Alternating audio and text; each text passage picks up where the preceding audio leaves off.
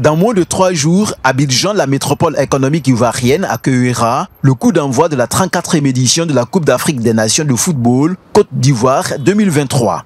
24 équipes nationales africaines et plus de 2 millions de visiteurs qui fouleront le sol ivoirien. Abidjan fait sa mue. Les abords des grandes artères de la ville aménagées, les drapeaux de la Côte d'Ivoire et de la Confédération africaine de football présents dans le ciel abidjanais annoncent les couleurs de la prestigieuse fête du football africain ça montre que vraiment que la Cannes va être, euh, va être très animée. 24 pays, euh, des supporters, euh, des personnes qui viendront peut-être pour la première fois en Côte d'Ivoire à Abidjan. À mon avis, Abidjan a fier, à lui. les rues sont, sont très embellies, tout est beau pour accueillir tout ce monde-là.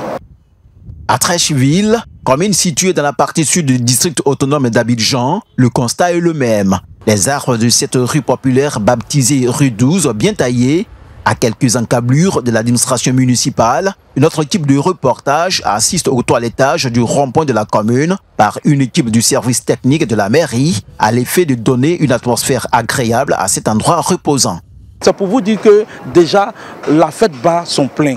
Et au niveau de la sécurité aussi, vraiment, euh, le niveau est élevé pour vraiment dire à nos autres qu'ils arrivent qu'ils sont en sécurité en Côte d'Ivoire et que euh, euh, ici il fait bon vivre et que ici ils sont sur leur propre terre aussi.